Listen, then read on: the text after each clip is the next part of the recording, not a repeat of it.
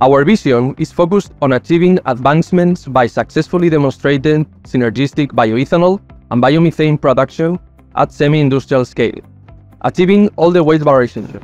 As the leader of Demo 4 in FUELPHORIA, our goal is to demonstrate the technical, economic, and environmental viability for the integration of bioethanol fermentation and anaerobic digestion using urban biowastes as feedstock. This approach will contribute to a more circular and sustainable biowaste management in the industry compared to current technologies.